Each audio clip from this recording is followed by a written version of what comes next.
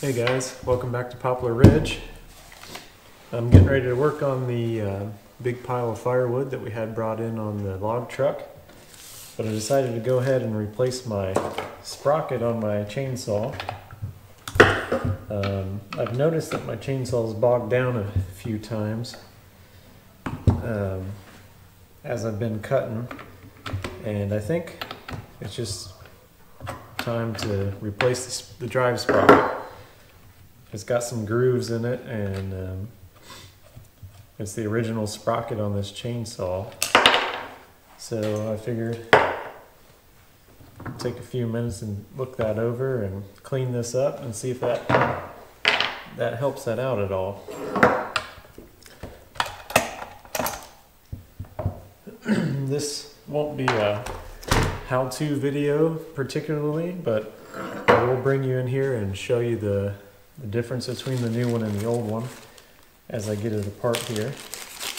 So I am going to uh, get this taken apart and show you the difference and we'll be right back. Okay, so I have uh, blown out the chainsaw just to get it cleaned up here. Uh, it's not real hard to replace this drive sprocket. You're just going to take off a retaining clip and this kind of flat washer or keeper that's on there. Pull that off and the, the uh, drive sprocket comes right off.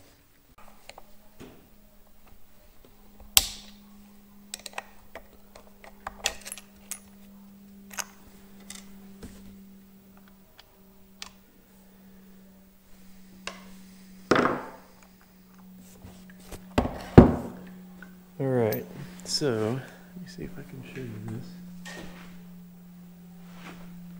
This is the sprocket that came off there. And you can see the you can see the grooves that are worn in it. Which is normal. This is a normal wearable part. Um, but when you compare that to the replacement here, hopefully it's a good replacement. Now that I'm looking at it, it's not the same size, of course.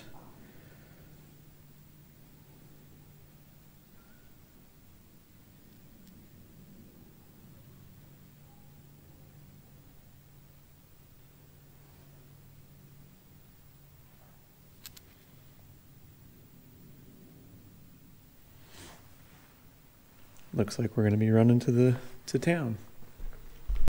Well, since the um, sprocket on the chainsaw was a total fail, I think we'll just start uh, moving what we've already cut, and then we'll go get a sprocket in the morning. And if the weather's right, we'll get a bunch of this cut up tomorrow. So um, this needs to be moved and stacked anyways, because I'm running out of firewood over there. So that's what I'm going to do now.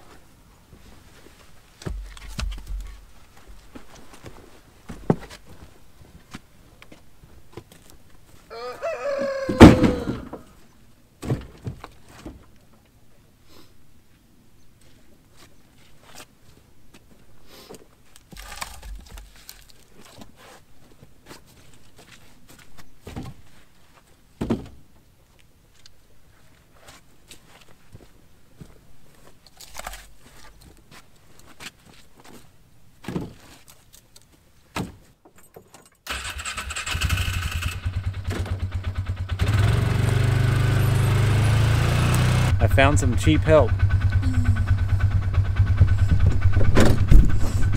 You ready? Mm-hmm. Here we go.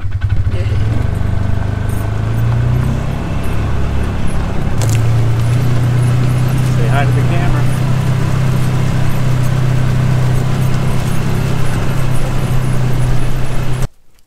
Look, Dad, both of them are about to fall. This one's about to fall. See? It's about to fall again.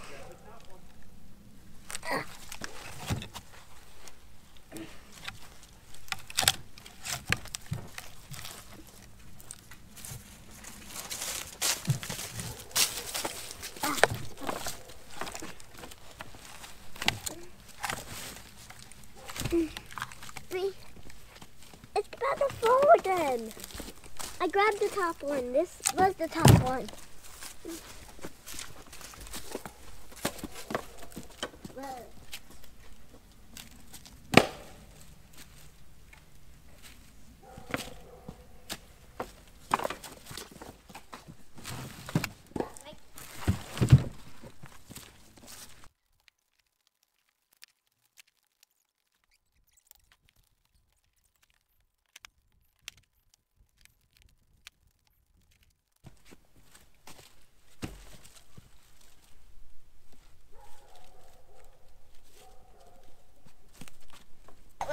Enough. I'm too small.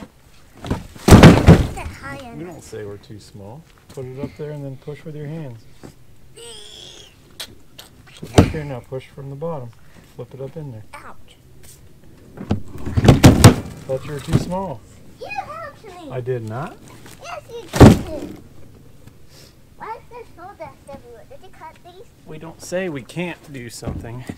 We find a new way to do it, okay? See if there's something up here. Did you hear me? Yeah. I don't think there's anything up here that I can. Oh, I found something. Be careful climbing on that Okay. in case the logs try to fall. Alright? okay. I found a spear.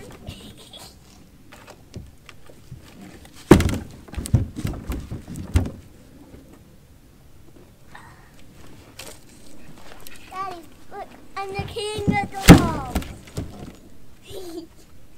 The log king? yeah.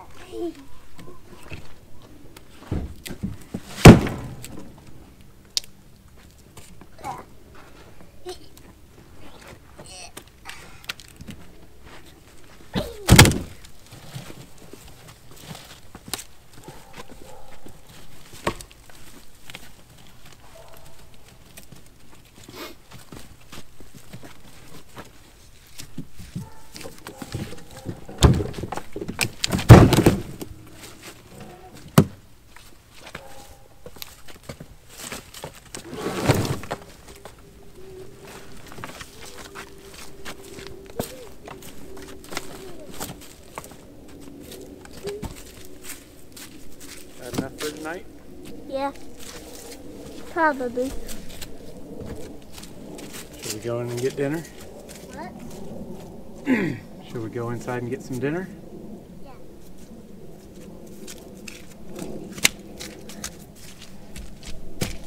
Come over here, quit jumping in front of the camera. Go over this way. Right, right, right. Look at the camera. Tell, tell them what your name is. Look, look at the camera. Say what your name is. Look right there. Johnny. Tell him what your name is. Johnny. This is Jace. He's my son. He was actually in my very first YouTube video that I ever made, weren't you? He showed up while we were sharpening the chainsaw in that video. What do you want to be when you grow up? Turtle Patrol. A turtle patrol. That's what he wants to be when he's not a farmer. No. Why not? Too boring. Too boring. You have to feed everything. Get firewood. Well then, yeah, but then you get know, grass for your animals. then you know, Move your animals. but, I'm not done. but then you know Get where them your, food. but then you know where your food comes from, and it's good and it's healthy for you, and you help other people get healthy food. Buy them food. So much money. Get in the Ranger. Let's go get some dinner. Okay, here we are a couple days later, and I've gotten the right part now. Um, the one I was carrying in my kit is actually a 3257 tooth, which will not work. Um, you can see the diameter is much smaller. Um, it's not the right part. But now I went ahead and I bought two of these. This is the new one and this is the old one. And I bought a second one to keep as a backup for future use. So this sprocket you can see on the original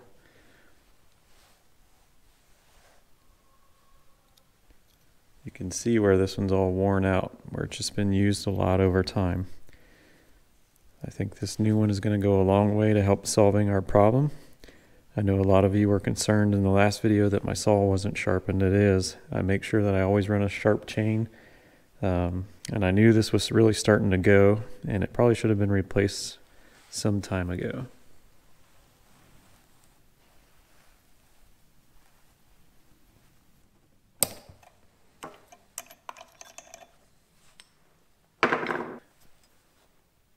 I also got some questions about um, my bar and the fact that um, I'm not flipping it, but I am actually flipping the bar almost every time I sharpen this. The way you can tell if somebody's flipping their bar or not is there'll be wear on one side, but not on the other. Um, but let me show you why you're thinking you did, that I'm not flipping it. So you can see there's wear on the bottom on this side, but not on the bottom on this side. But there is wear. You can see it's upside down now. There's wear here. Definitely there's some more wear um, on this side, you know, with it facing quote unquote the right way up. But these bars can be run either way. And I probably haven't done 100% of a job of flipping this every time, but you will see me run it from time to time with a Stihl logo flipped the wrong way. Um, but they are made to rotate so that the bar wears evenly. And if the sprocket um, isn't uh, the issue or doesn't fix our problem, it may be that the bar is worn un- unevenly and we may need to look into that.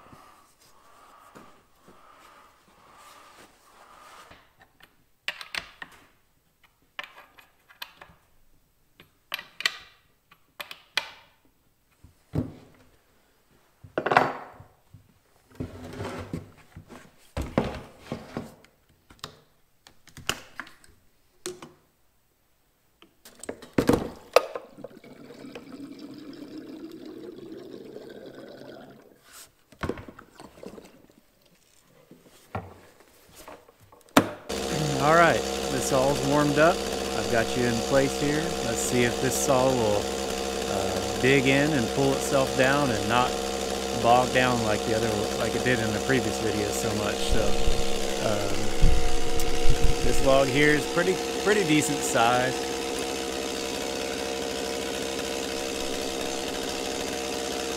Probably 14 or 15 inches across, so it's a decent test. So we'll get you lined up here and let's see what happens.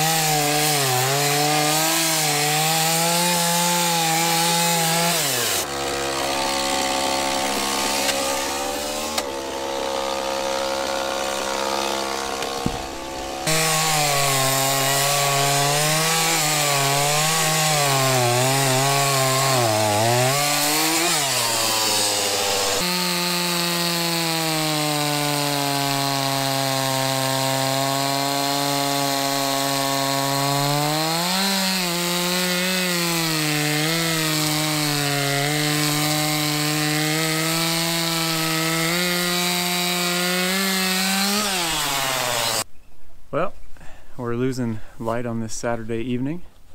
I had a good time out here just chipping away at this again and more than anything I wanted to make sure my saw was running good after replacing that sprocket and that definitely helped a lot.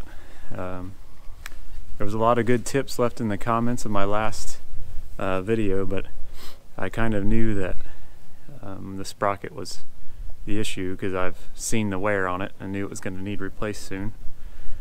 Uh, nonetheless, I do appreciate all the comments and the help. And uh, a lot of you are just looking out for um, guys out there that are cutting wood and sharing your knowledge and I always appreciate that. I appreciate the comments and the, the likes and the uh, subscriptions have been way up for me uh, over this last month to uh, two months. And um, I'm very blessed and I really appreciate you guys being here uh, to give you a quick look at what we got done today and uh, we'll see you guys on the next one. Thanks for watching.